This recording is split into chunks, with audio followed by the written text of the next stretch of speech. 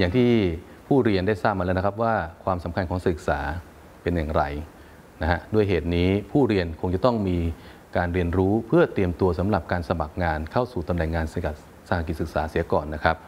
หัวข้อในวันนี้จะเป็นตัวที่จะช่วยทำให้ผู้เรียนเนี่ยได้เข้าใจถึงวิธีการเตรียมความพร้อมตนเอง เพิ่มความมั่นใจในการเตรียมตัวเข้ารับการสัมภาษณ์งานนะครับถ้าจะกล่าวโดยทั่วไปแล้ว สิ่งสำคัญที่สุด ของผู้เรียนแต่ละคนที่จะเข้าสู่ตำแหน่งงาน ไม่ว่าจะงานศึกษา หรืองานเมื่อหลังสำเร็จการศึกษา ก็คือวิธีการนำเสนอตนเองต่อผู้ประกอบการนะครับ เพราะฉะนั้นในหัวข้อนี้เรามาเรียนรู้กันครับว่า